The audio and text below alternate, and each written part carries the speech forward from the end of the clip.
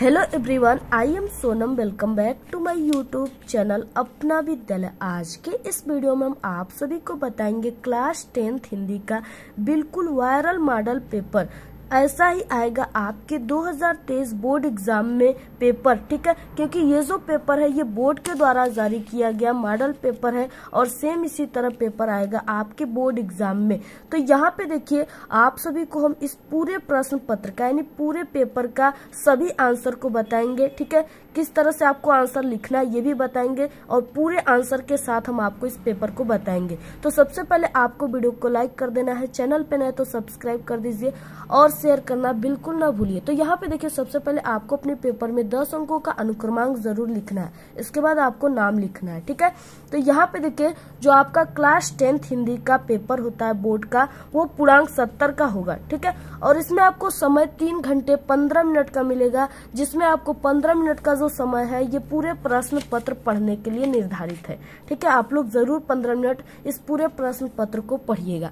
तो यहाँ पे देखिए, जो पहला क्वेश्चन है, यानी अब आप सभी का न्यू पैटर्न के अनुसार 20 नंबर का बहुविकल्पी क्वेश्चन ठीक है क्लास टेंथ के आल पेपर में आप सभी को देखने को मिलेगा आल सब्जेक्ट में। तो हिंदी में भी 20 नंबर का बहुविकल्पी क्वेश्चन आएगा। तो सबसे पहला क्वेश्चन दिया हुआ है, निम्नलिखित कथनों में से कोई एक कथन सही है, उसे पहचान कर लिखिए। यहाँ पे देखिए, चार ऑप्शन दिए हुए पहला है मित्रता, आचार्य रामचंद्र शुक्ल का प्रसिद्ध नाटक है, बिल्कुल गलत, ठीक है? इसके बाद दीपदान डॉक्टर राम कुमार वर्मा द्वारा रचित महाकाव्य ये भी गलत, क्योंकि जो दीपदान है, वो डॉक्टर राम कुमार का, ठीक है, एकांकी है।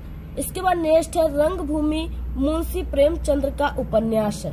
तो ये जो ऑप्शन है, ये बिल्कुल राइट आंसर है। ठीक है, जो रंगभूमि है, वो मुंशी प्रेमचंद्र जी का उपन्यास है। तो यहाँ पे आपको एक ऑप्शन को क्या करना है? चूज़ करके अपनी O M R answer sheet पे लिख देना है। इसके बाद नेक्स्ट है दूसरा क्वेश्चन निम्नलिखित कथनों में से कोई एक कथन सही है, उसे पहचान कर लिखिए। तो यहाँ पे देखिए कई दिया हुआ जैसे झूठा सच के लेखक राम बिलास शर्मा है। तो ये भी गलत है। अवारा मसीहा एक उपन्यास है। ये भी गलत है क्योंकि अवारा मसीहा एक जीवनी है। नेक्स्ट है, महादेवी वर्मा एक उपन्यासकार लेखिका है। ये भी गलत है। इसके बाद चौथा दिया हुआ है घ, यानी कि हंस पत्रिका के संपादक मुंशी प्रेमचंद्र है। ये राइट आंसर है, ठीक है? यानी दूसरे का घ वाला राइट है। इसके बाद नेक्स्ट क्वेश्चन क्या है? उसने कहा था, किस विधा की रचना है? ठीक है, तीसरा बहुविकल्पी क्वेश्चन है। तो यहाँ पे उसने कहा था, कहानी विधा की रचना है। नेक्स्ट है चौथा त्याग पत्र के लेखक का नाम है तो वो जैनेन्द्र कुमार है, ठीक है?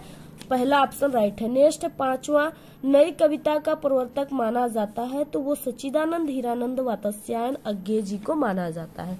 नेक्स्ट है छठवां निज भाषा उन्नति अह सब उन्नति को मूल उक्त के लेखक कौन है? यानी इसमें, इसके लेखक कौन है? तो वो भारतेंदु हरिश्चंद्र जी हैं। ऑप्शन घ राइट है। सातवां क्वेश्चन है, कौन सी रचना कविवर पंथ की नहीं है? तो यहाँ पे देखिए युगवाड़ी जो है, ये भी पंत जी की है, यानी सुमित्रा नंदन पंत जी का नाम है। और उसके बाद लोकायतन भी है, लेकिन ये सुनहरे सेवा जो है, ये इनका नहीं है। तो यहाँ पे ऑप्शन क। इसके बाद नेक्स्ट है, कला और बूढ़ा चाँद के रचनाकार हैं। तो कला और बूढ़ा चाँद जो है, इनके रचनाकार सुमित्रा नंदन पंत है। ठीक है? ऑप्शन घ नेक्स्ट है, करुण रस का स्थायी भाव है। तो करुण रस होता है, उसका स्थायी भाव क्या होता है? शोक होता है, ठीक है? अगर आप लोगों को नहीं पता है तो आप लोग हमारे चैनल से बहुत ही सरल तरीके से हमने इसको करुण रस और सभी रसों को बताया हुआ है, और कई एग्ज़ाम्पल के साथ आप लोग जल्दी से देख लीजिएगा हमारे चैनल के हिंदी के प्लेलिस्ट से। दसवां क्वेश्चन आहुति सी गिर चढ़ी चिता पर उठी ज्वाला सी में कौन सा अलंकार है, ठीक है? तो यहाँ पे देखिए चढ़ी यानी चिता। यहाँ पे दो बार च च की आवृत्ति हुई है, इसलिए ये अनुप्रास अलंकार है, ठीक है? और भी ये उत्प्रेक्षा उपमा अलंकार भी हो सकता है, लेकिन सबसे इम्पोर्टेंट यानी इसमें दिख रहा है वो अनुप्रास अलंकार है, ठीक है? आप लोग भी इसके बारे में कमेंट करके बताइएगा। नेक्स्ट है ग्रहवा क्वेश्चन सोरठा के दूसरे और चौथे चरण में कितने मात्राएँ होती है? तो दूसरे और चौथे चरण में तेरह तेरह मात्राएँ होती है, ठीक है?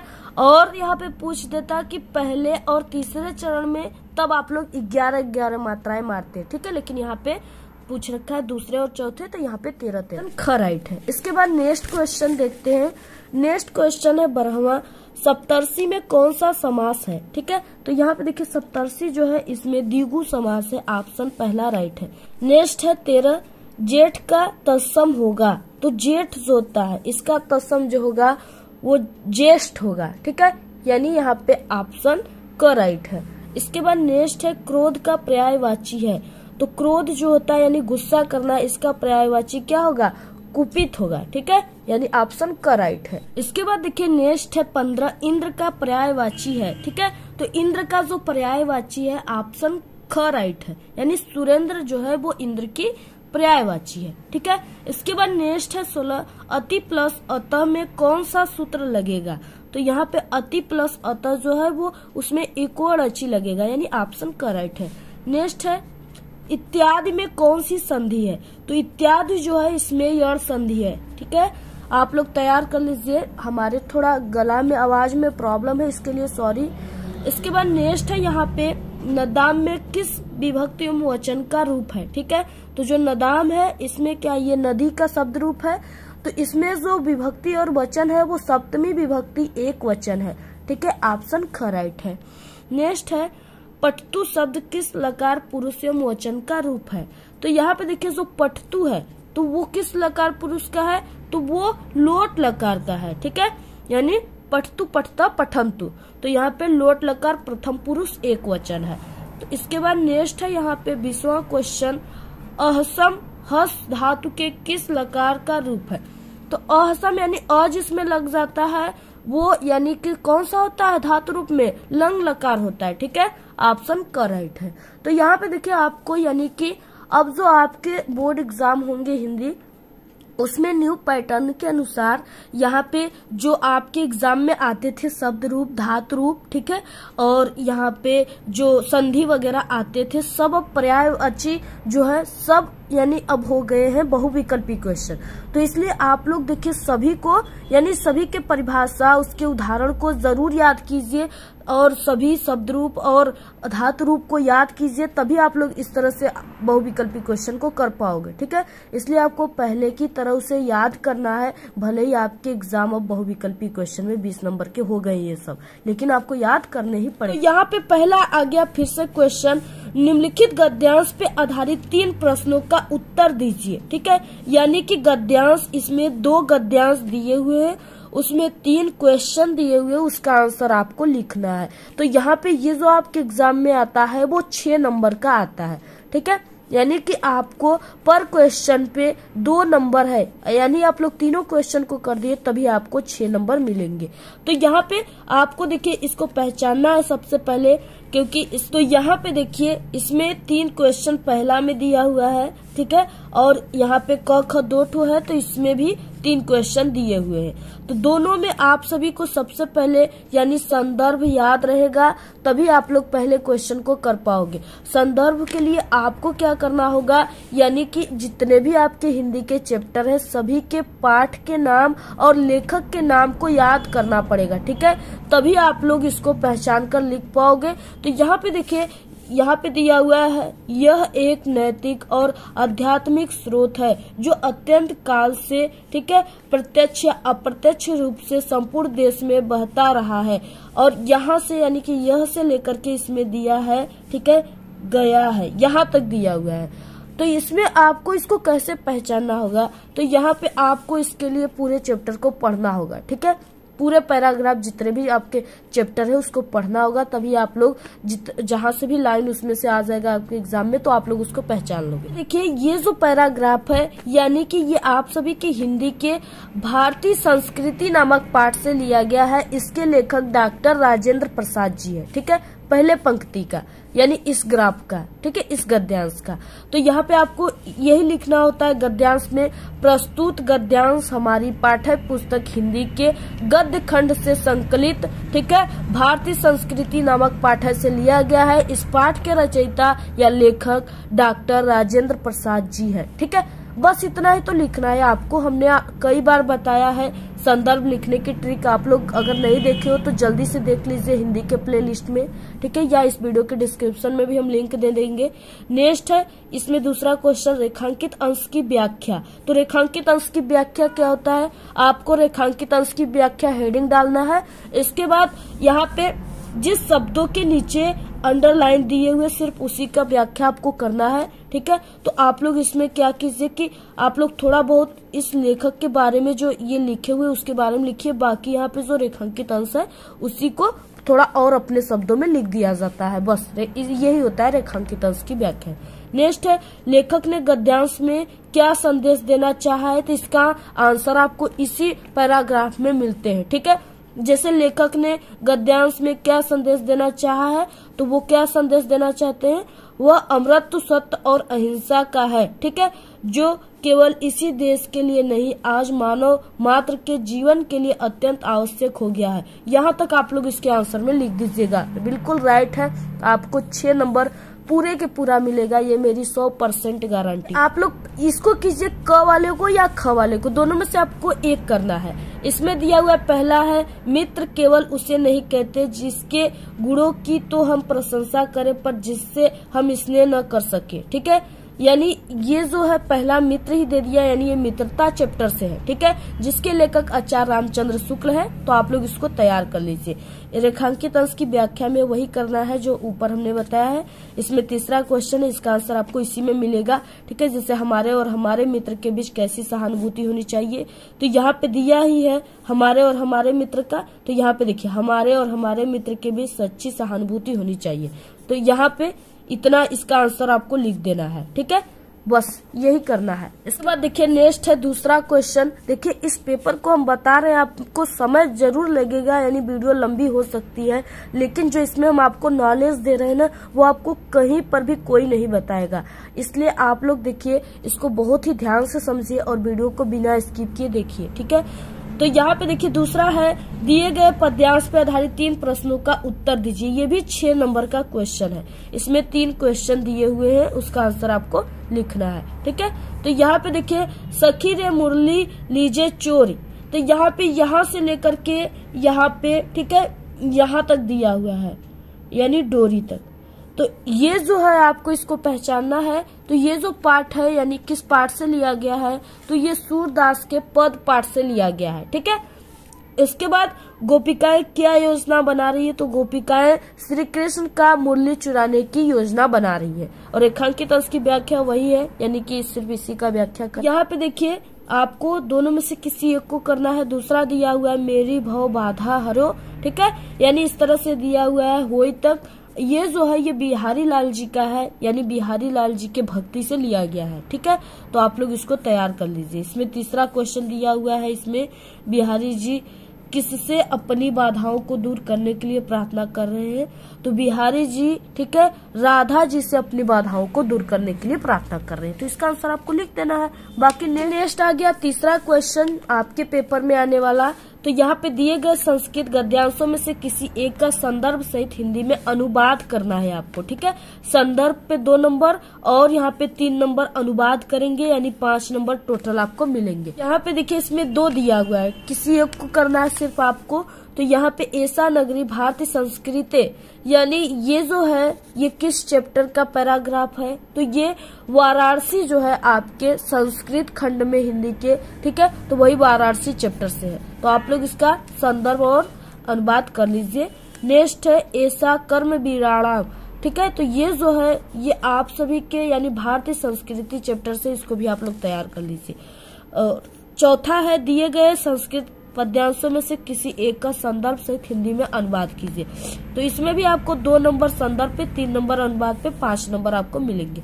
पहला दिया हुआ सर्वे भवंतु सुखनम, सर्वे संतु निरामया, सर्वे भद्राण पश्चिम माँ कश्चित भाग भवत। ठीक है? और दूसरा यहाँ पे दिया हुआ, पहला और दूसरा में से आपको कोई एक को करना है, जिसका आपको क्या करना है? संदर्भ और इसका अनुवाद लिखना है।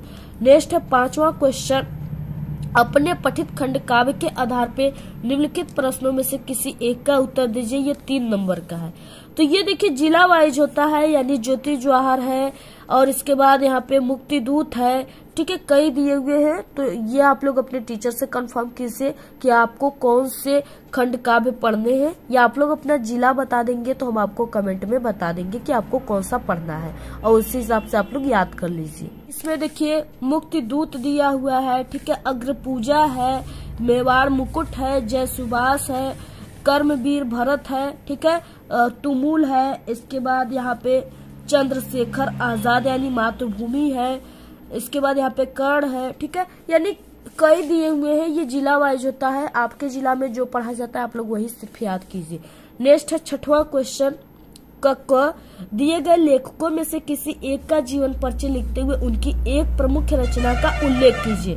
तो ये कितने नंबर का है? पाँच नंबर। तीन नंबर आपको जीवन परिचय पर और यहाँ पे दो नंबर आपको इसके रचना पर मिलेगा, ठीक है? तीन दिए हुए हैं। इसमें से आपको, यानी कि आपको किसी एक पे लिखना है। पहला है आचार्य रामचंद्र शुक्ल, दूसरा जयशंकर प्रसाद, तीसरा डॉक्टर राजेंद्र प्रसाद।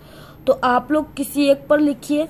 पाँच नंबर आपका पक्का है। हमारे चैनल पे जितने भी यहाँ पे दिए हुए हैं लेखक, ठीक है, सभी के बहुत ही अच्छे तरीके से हमने जैसे टॉपर स्टूडेंट लिखते हैं, उस तरह से लिख करके ट्रिक से आपको बताए हुए अगर आप लोग नहीं देखे हो तो हमारे चैनल पे प्लेलिस्ट बने हुए हैं, क्लास टेंथ हिंदी के जीवन पर्चे इम्पोर्टेंट वहाँ से आप लोग देख लीजिए जल्दी से, ठीक है? सभी जीवन पर्चे हमारे चैनल पे अपलोड है। ख दिया हुआ है, दिए गए कवियों में से किसी एक का जीवन परिचय देते हुए उनकी एक प्रमुख रचना का उल्लेख कीजिए। ये भी पाँच नंबर का है। इसमें तुलसीदास है राम नरेश त्रिपाठी है, ठीक है? श्याम नारायण पांडे है। तो इसमें से आपको किसी एक पर लिखना है तो यहाँ पे आप लोग तुलसीदास पे लिख सकते हो, जो कि हमारे चैनल पे बहुत ही अच्छे तरीके से बताया गया है। आप लोग जल्दी से उसको जाकर देख लीजिए। और इसके बाद नेक्स्ट है, इसमें सातवां क्वेश्चन है, ठीक है? अपनी पाठ्य पुस्तक में से कंठस्थ कोई एक श्लोक लिखिए जो इस प्रश्न पत्र पे न आया हो। यानी दो नंबर का है, आप लोग इसको अगर दो श्लोक याद कर लोगे तो आप लोग एक लिख पाओगे। नेक्स्ट है, निम्नलिखित में से किन्हीं दो प्रश्नों का उत्तर संस्कृत में दीजिए, ये चार नंबर का है, यानी एक क्वेश्चन दो नंबर का है। वाराणसी किमर्थ प्रसिद्धा अलचंद्र क आसित ठीक है, नागरिक किमर्थ लज्जित अभवत चंद्रशेखर क आसित चार क्वेश्चन है, जिसमें सिर्फ़ दो को करना है, चार नंबर आपका पक्का है। हम पूरे क्वेश्चन को बताए हैं इसके आंसर के साथ।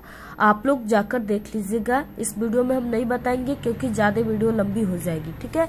तो आप लोग हम लिंक दे देंगे डिस्क्रिप्शन में, वहाँ से भी देख सकते हो। क्लिक करके या कमेंट आप लोग करेंगे तो वहाँ पे भी हम लिंक दे देंगे आपको। तो यहाँ पे नौवा क्वेश्चन और लास्ट क्वेश्चन आपके पेपर में आता है, जो कि अब नौ नंबर का हो गया है, वो है निबंध, ठीक है? तो यहाँ पे निबंध दिया हुआ है कंप्यूटर शिक्षा, पर्यावरण प्रदूषण, विज्ञान, अभिशाप, वरदान, परहित सरिस, धर्म नहीं भाई। यानी यहाँ पे चार है, इसमें से अगर आप लोग दो तैयार कर लिए तो बिल्कुल पक्का है।